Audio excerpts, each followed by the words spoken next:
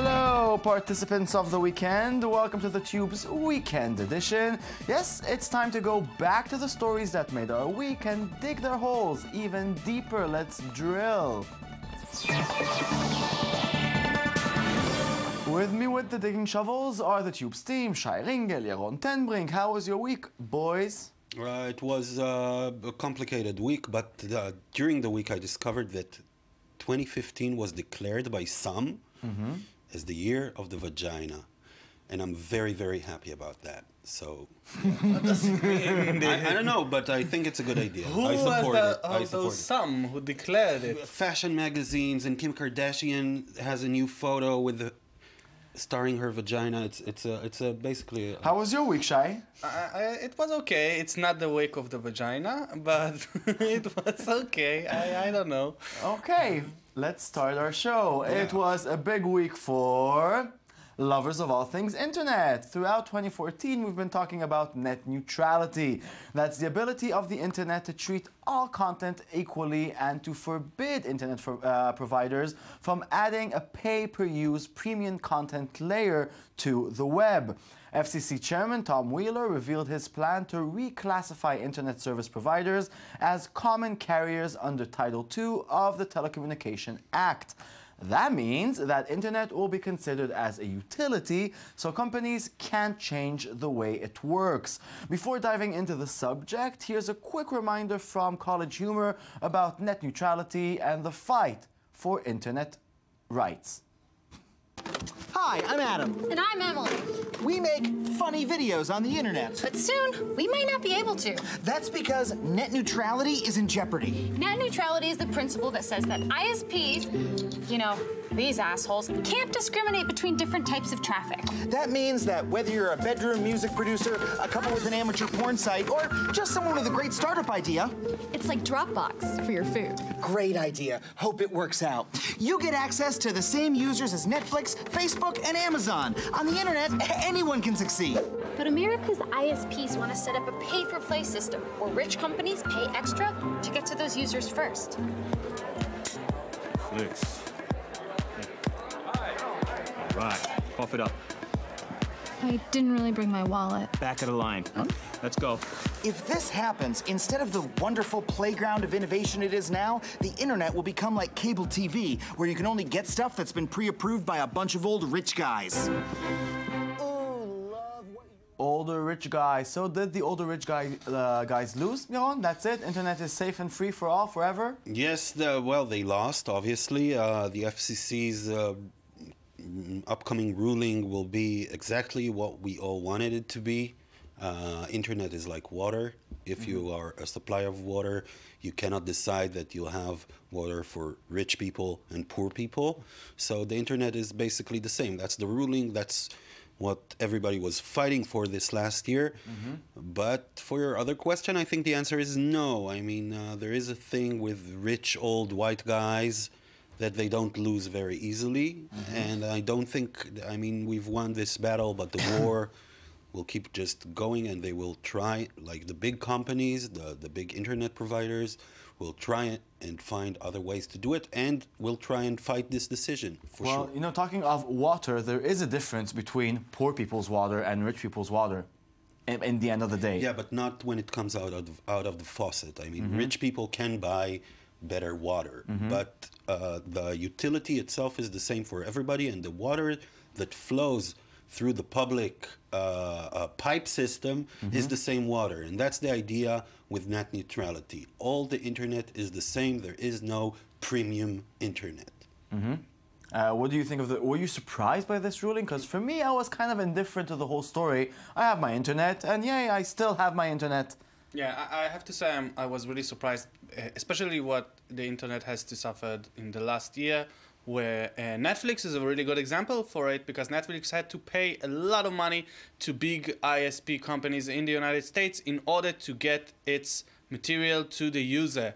Uh, and when they didn't pay, the ISP companies really shut down the pipe uh, and you could see it really um, uh, um, you could see a lot of times where companies wanted to succeed and the ISP were uh, in their way and now maybe this new ruling will stop that But as Yaron says, uh, rich white guys don't quit that easily. The Republican Party is now standing on the other side of the equation, and a lot of uh, people who are was who were supported supposed uh, supported by a lot of those telecommunication companies will try to uh, make the ruling different to change mm-hmm. that ruling. The ruling hasn't been made yet. We have to remember that tom wheeler uh, said in an interview he will make the ruling at the end we have So it's not a month- final. Yeah, but my question, it's uh, maybe on the larger scale and shortly. I mean, it's 20 years already that people are talking about uh, regulating the internet. Will it ever end? Will there be regulations and that's it?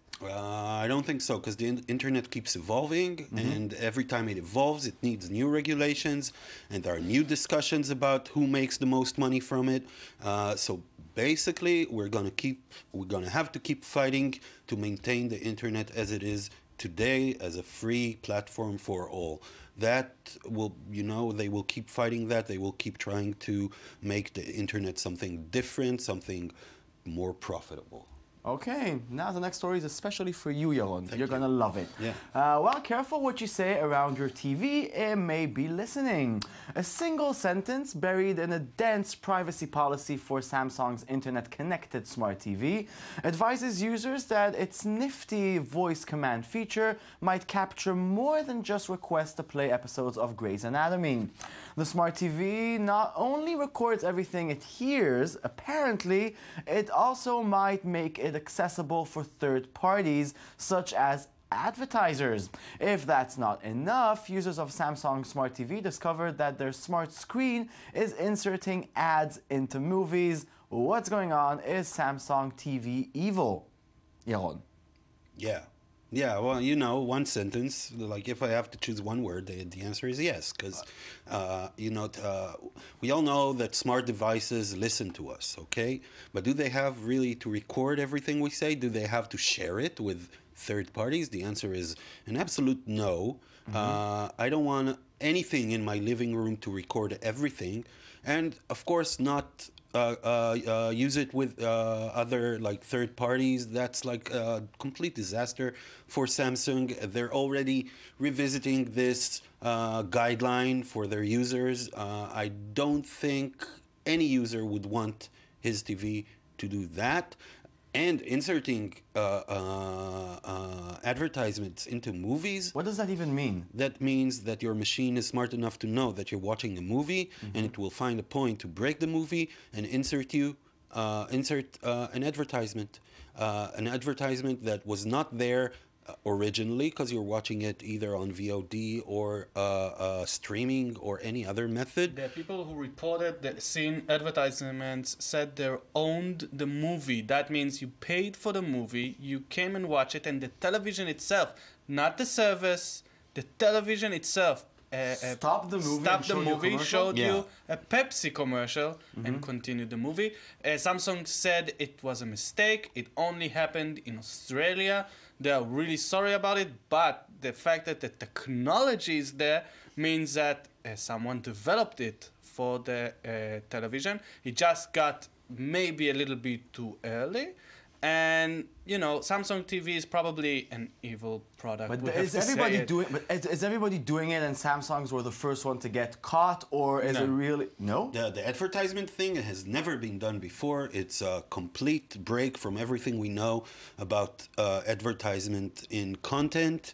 Uh, you know, you go to watch a movie in the cinema, so you know you'll have a few advertisements before the movie that pays for some of the ticket Someone price. read all the manuals of all the rec- potentially recording new futuristic gadgets that might no, be in your of home. Of course not. Of course not. Uh, what, what's happening now is that we have this idea of Internet of Things. That Mm-hmm. means our gadgets at home are becoming smart and they can communicate with each other, but they can communicate with us. And because most of them, a lot of them are voice activated Mm-hmm. or want to be voice activated, they also have the power to listen to us. And I think this is an area which hasn't been covered so far because nobody really thought about the ramifications of uh, machines around you listening to you and be, being able to record you and being able to share this recording with like an advertiser or you know the government or whoever.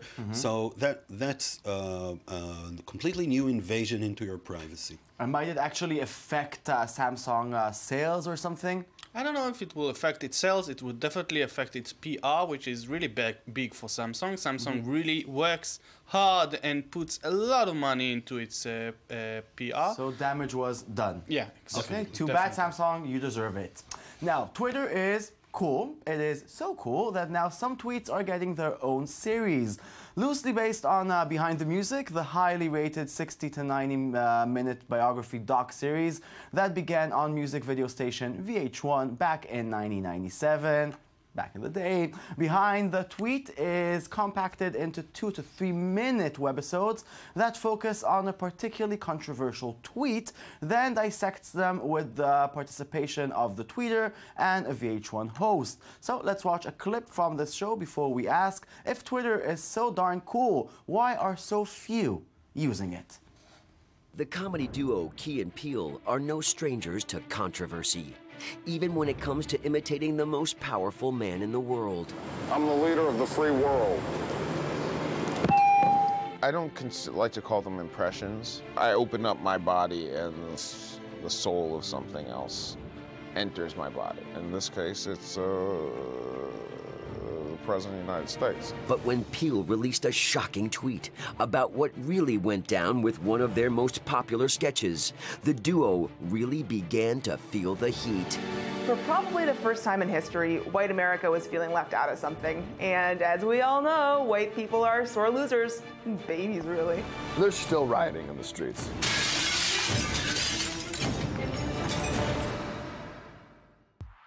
When Key and Peele were cast together on Mad TV over a decade ago, they never dreamed their friendship would lead to a hit TV show of their own. But it was their Obama handshake sketch that would elevate their work to a whole new level. Key and Peele, man. So, uh, I mean, we can talk about the show a lot, but let's not talk about the show. Let's talk about the fact that Twitter, you know, um, uh, on its face, it has it all, okay? It has the biggest celebrities, uh, huge scoops, uh, mega gossip things happening there. Now they even have a TV show, but something is r- not really working there, isn't it? Yeah, I, I I think I think Twitter is kind of looks like to the average user like a closed uh, club uh, where where only really funny people that are very eloquent and can write beautifully in 140 uh, uh, letters. You know, th th this whole idea is very very frightening to some people. And, Even to me. And the way the way Twitter works, that you don't have friends. It's people follow you, and if you follow someone, he doesn't have to follow you back.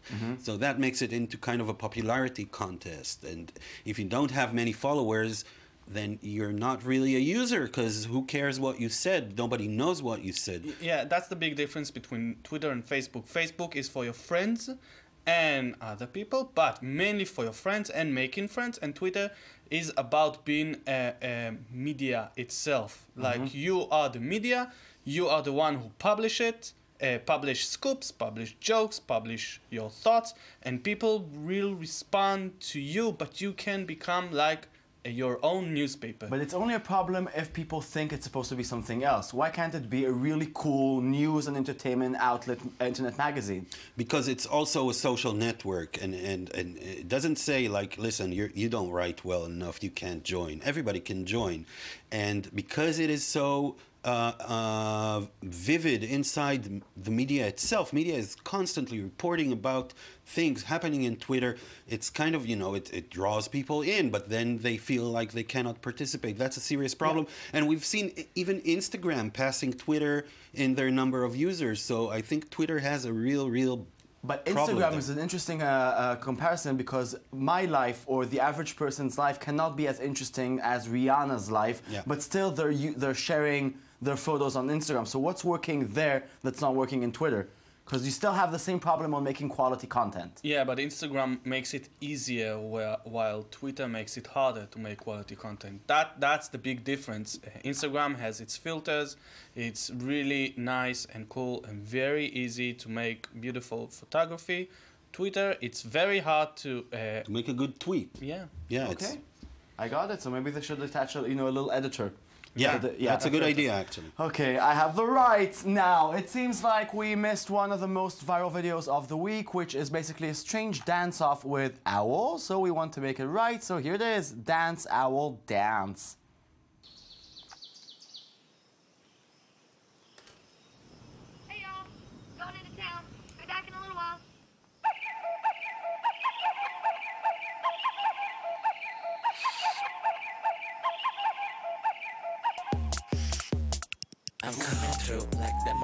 Don't have.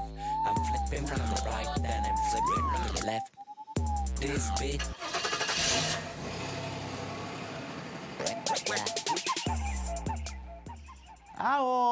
Yay! Okay, that's it. This show is over. Thank you very much, Shai. Thank you very much, Yaron. Thank you very much for watching. We'll be back on Monday with a brand new show. Twitter, Tumblr, the Tube24. And always remember, carry out a random act of kindness with no expectation of reward, safe in the knowledge that one day someone might do the same for you. That's Princess Di. Goodbye. Monday weekend. Bye.